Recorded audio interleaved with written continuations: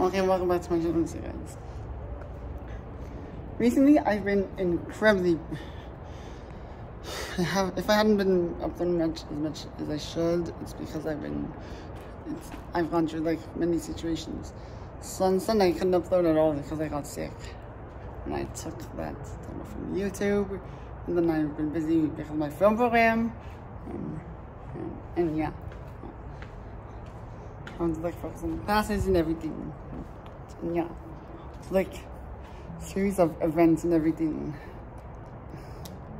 on that note, get ready for some stuff coming in, uh, come to you eventually. We're just gonna go from there. Take care.